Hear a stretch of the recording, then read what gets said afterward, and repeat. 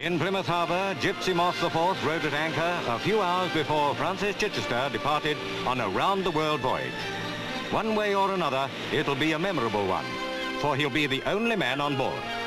This famous sailor, hero of lone Atlantic crossings, now plans to sail by himself round the world. He made certain that all the stores he needed for the next hundred days were properly stowed away, his son helping him. Then, as she has done before at the start of his voyages, Chichester's wife bade him farewell. It needs an understanding woman to be the mate of a compulsive sailor. The spirit of Francis Drake still hovers over Plymouth Sound. And as Gypsy Moth got underway, all men of Devon and all Britain wished Godspeed and plain sailing to Chichester.